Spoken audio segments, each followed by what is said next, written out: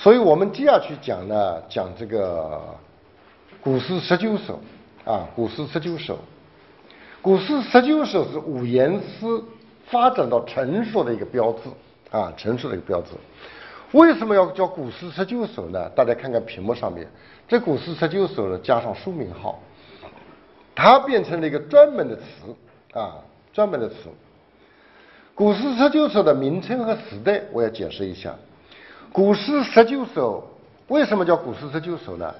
做萧统昭明太子的萧统的文选里面啊，他就完整的收了古诗十九首。刚刚说十九首，因为作者的姓名失传了，时代不能够确定，因此文选的编者呢题为古诗啊，古诗一共十九首。关于古诗十九首的作者和时代，历来有许多推测。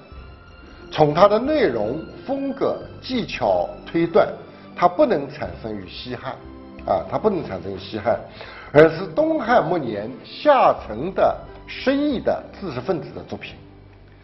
古诗十九首的大概时间呢，不出于东汉后期数十年之间，就是最早大概当在舜帝的末年，最晚。也在先帝以前啊，先帝以前，古诗十九首，现在具体的作者已经不可考了，也不是一个人写作的。那么它反映的思想内容，今天我们看起来就比较复杂啊，复杂。它里面有些日中四换的，比方说今日良宴会；有些游子思妇的，如行行重行行。有些人生无常，即是行乐的，如驱车上东门；有些朋友交情淡薄的，如明月皎夜光等等。啊，这个十九首啊，思想感情呢，表达的比较复杂，比较充分。古诗十九首的思想感情虽然复杂，但是有一个共同的特征，就是对人生易逝、人生无常的一种感慨。我们大家知道，东汉末年和建安时期啊，那个时候的人大概是一个战乱，一个瘟疫，使人们产生了对一种生命的终极的一种恐惧。每个人都怕死啊，是不是啊？怕死啊，死亡怎么样啊？死亡怕死，大大家担心呢，这个生命行将结束。你今天去看看建安七子，建安七子当中有四五个作家啊，他就是一下子同年死掉的。他死掉就是死于瘟疫，就是死于瘟疫，啊！曹操八十三万大军打到赤壁的时候，要渡长江的时候，我们今天《三国演义》里是写的活龙活现，呃，什么草船借箭啊，借东风啊，啊，什么什么写的是诸葛亮啊、周瑜啊联手啊怎么样打？实际上，赤壁大战有没有，我们今天都很难说，说不定就是赤壁小战，啊，因为曹操写给孙权的一封信里面讲到了。呃，他讲到里面的内容，透露出一个信息，就是什么呢？我的部队在渡江的时候碰到了瘟疫，瘟疫，我们今天好多多种理解，甲肝流行也是瘟疫，SARS 也是瘟疫，是不是啊？这个前段时间又又有一种什什么病啊？这种流行起来，你几十万部队里面流行起来不得了的。北方的部队到南方有时候是不适应的，北方人到了南方有时候不适应，因为南方的气候太潮湿。啊，潮湿，我们浙江人喜欢这个这个这个潮湿的气候，喜欢这种温和的气候啊。但是很多人不是那么喜欢的啊，不是那么喜欢的。尤其我像北方的朋友到了杭州的时候，天天下雨啊，下得我心烦啊。我们杭州人说，像我到了西北，我到敦煌去的时候，第一天就流鼻血，太干燥了，对不对？不一样的，是不是？我们到到什么地方？你你像我到湖北、湖南去开楚辞会，开楚辞会的时候，我去了就吃不惯，天天是辣椒。这两年去好多了，全国各地的菜都有了啊。那个时候天天吃辣椒，吃的我，哎呦，胃口全倒光了。当然他们是非常热情，非常热情，上了一盘菜又是辣椒，上了一盘菜又是辣椒，啊。当然这个是十年以前了啊，上了十吃的我后来是。大便都不通畅了，呃，完了以后到了武汉，一个朋友说晚上我们李先生，我们晚上我请你到哪吃饭？我说哪里都不去，就在你家里，你给我烧一锅稀饭放白糖，我就这样子吃。他说这样子太不够意思了。我说我真想吃，我 我说我到宜昌，到哪里到哪里，天天吃辣的，已经辣的不敢再辣了。结果一回到杭州，湿润的气候啊，这种我们杭州习惯的饮食，马上就调剂过来，没问题。我暑假到了西藏，一路不舒服，一回到杭州就非常舒服了啊。我们二十个人去，回到杭州，大家都活龙活现了，一个到了那边，一个个都病歪歪的，像病猫差不多啊啊！你看我，我看你啊，精神都不太有了。这主要是气候水土不服的问题。这水土不服有时候是一个很大的问题啊，是不是？啊你看曹操，比方说他八十万、八十三万大军，后来碰到瘟疫，他就没办法了，退兵了。所以我们今天研究从历史学界来研究赤壁大战，说东吴打赢了，好像没有发生封官的现象嘛，对不对啊？哪个人做大官，你你打赢了那么大的仗，总应该封官封官嘛。所以历史学家研究说没有发现他们有封官的现象，可见没有建立很大的功劳，是不是？没有很大的功劳，那就没有打仗啊。估计小战小的接触是有的，大战没有的。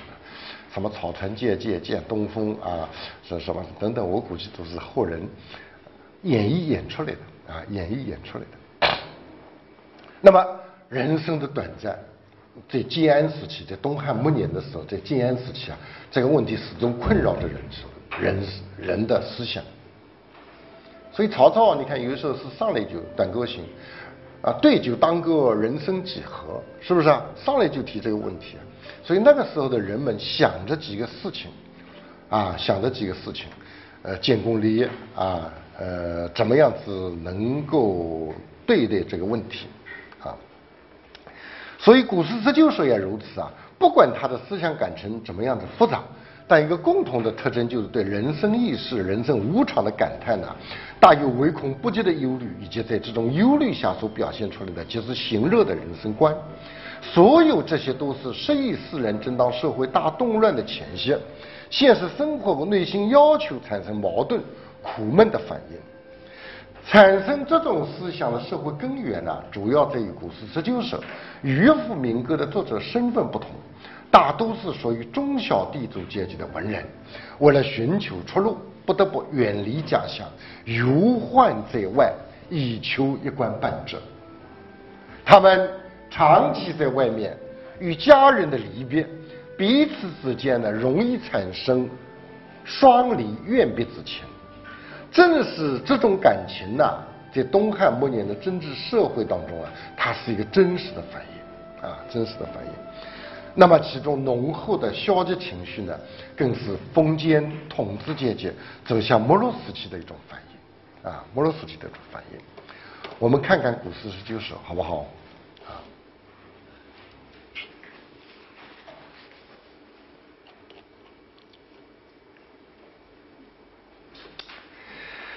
古诗十九首，行行重行行，行行就走。走啊走，走啊走，重行行，再走啊走，走啊走，走到九月九，是吧？我们一首歌就走啊走，走啊走，走到九月九，走啊，是不是？我们今天很方便，高速公路啊，这个火车啊，飞机啊，古人走啊，古人大部分走啊。我是浙江温岭人啊，台州人，台州我现在回去都是山洞。我们读大学的时候，这个汽车是误上山又下山，上山下山，晕头晕脑，经常晕车啊！我再想想，那个时候已经很好了。如果在古代的话，你骑了一匹马，或者坐了个船，或者走路出来，那种那种举子们真的是很辛苦的，走到北京考试是吧？像你们如果要考试考考考状元，到北京去考啊，走啊一路走，真的走啊走，走啊走，走到九月九。有时候路上，有时候走走半年、一年、几个月是很正常的啊。所以大家看看，这这些是第一首《行行重行行》，行行重行行，与君生别离，相去万余里，各在天一涯。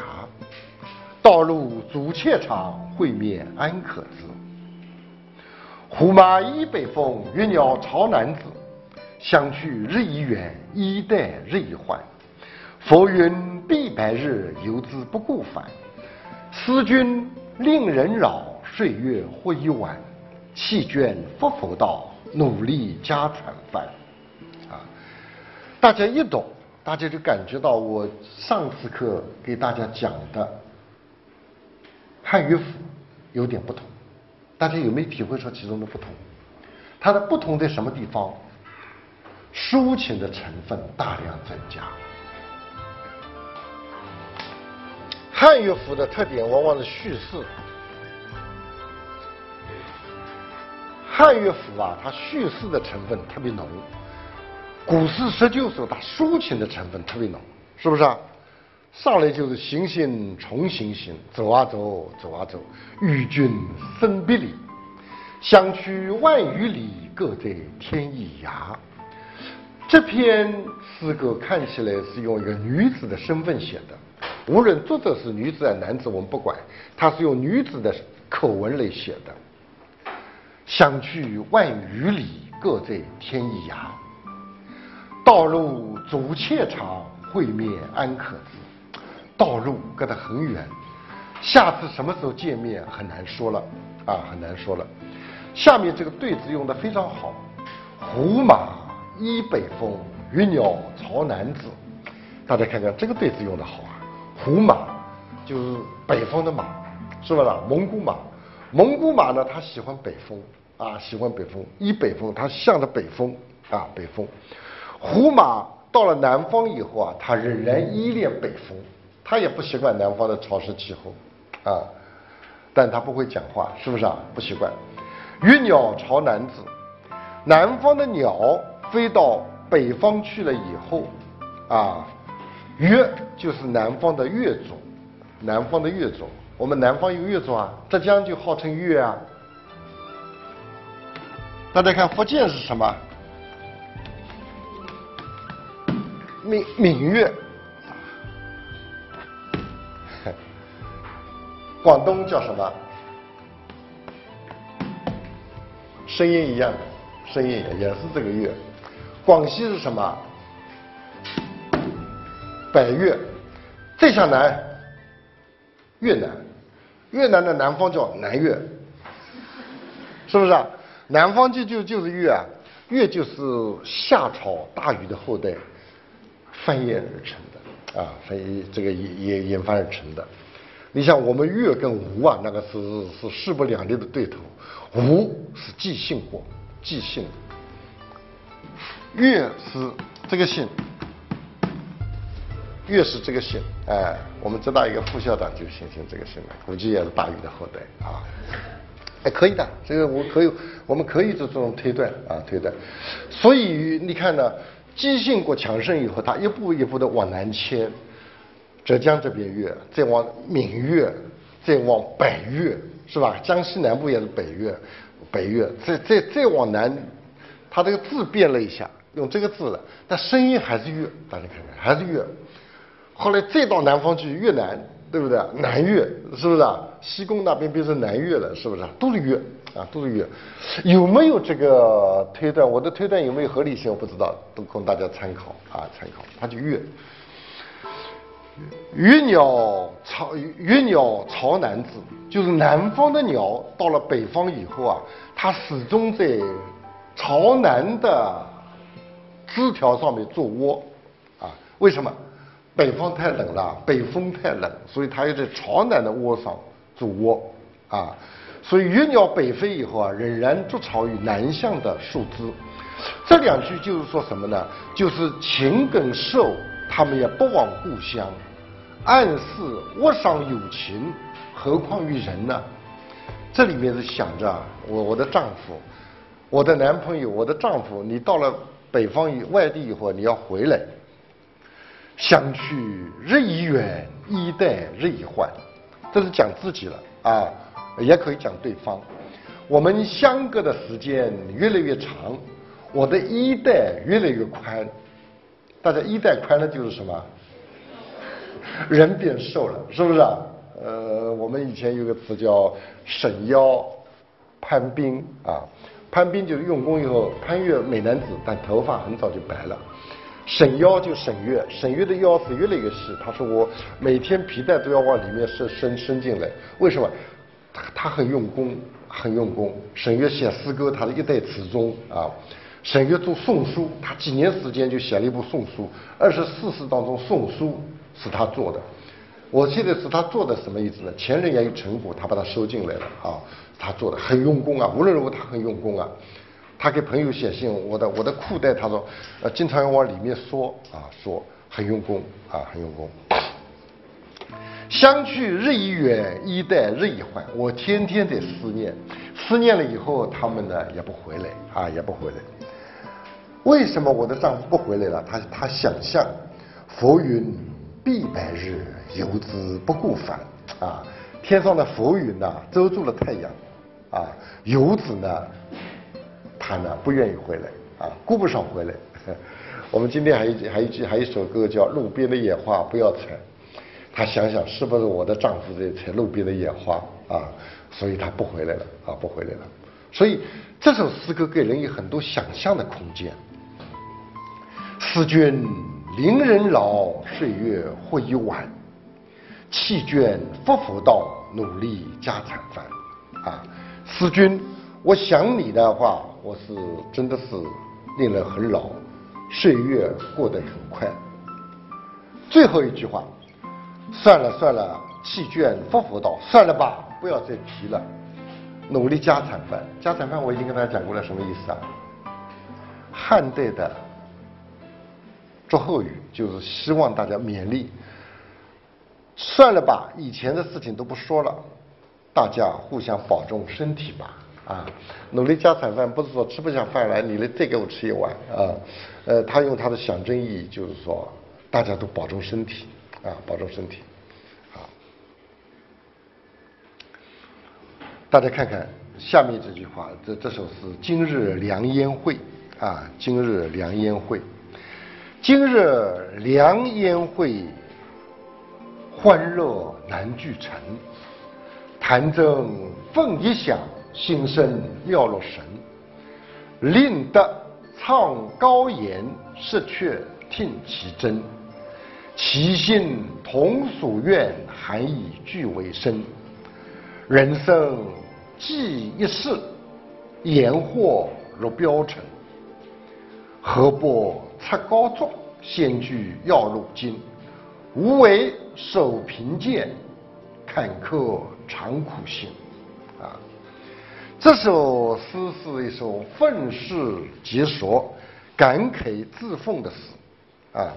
感慨自奉的诗：今日良烟会，欢乐难聚成。啊，今天我们举行那么大的一个烟会，啊，真是高兴啊！大家欢乐难聚成，大家呢，这个欢乐的程度没办法讲清楚，是吧？今天大家来请大家来吃饭，啊，饭少，卡拉 OK，啊，再请批美女来陪你跳舞，多快活，是不是？美酒。啊，美女啊，宴会啊，吃吃的很好，欢乐难聚成，这高兴的程度简直没有办法用语言来表达。弹筝凤一响，心声妙落成，乐器弹奏起来，这个声音啊传得很远，心声啊，这个美妙的歌声啊，真是进入了人的精神世界。令得唱高言啊，就是那种贤者，就是唱歌者，唱出了啊，唱出了这个很美妙的声音。那么听曲的人也听得出歌曲当中的真实的那种意志啊。其先同属愿，还以俱未生。这句话说呢，大家的心理啊都是相同的，大家所想的也都差不多啊，差不多。人生寄一世，言祸如标尘啊，人生啊，每个人到世界上来，大家都是过的都是一辈子，无论你一百岁，无论你三十岁，无论你十岁，都是一一辈子。人生到世界上来。寄托在世界上过一辈子，这里用了个“寄”字，可见他们对自己的生命啊都没有保证啊，没有自主感。寄，言祸若标成，啊，言祸这是个同义反义副词。言我已经给大家讲过了，就是时间很长叫言，祸就很快。当然，这里面的意思就是一个字取它一个字的意思，反义副词嘛，取它一个字的意思就是祸，祸，就时间过得真快啊，就像一阵风吹起的灰尘一样，一会儿就没有了。那怎么办？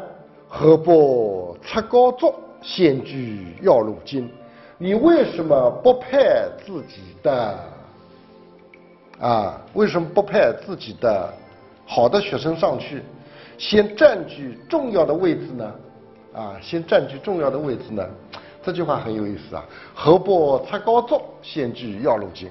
你为什么不派出自己最好的学生啊？出高座当然实际上就骑马了。你为什么不骑马去先去先去占领一个很好的位置啊？是不是啊？你鞭打快马啊，先去占领好的位置啊啊，呃，后来引申开了，就是说何不他高足？高足也是好的学生嘛，你去占占领这个好的位置也可以，这引申义啊。无为受贫贱，坎坷尝苦心。你假如占不到好的位置的话，那你一辈子只好守着贫贱，坎坎坷坷的过那种非常辛苦的日子。啊，辛苦的日子。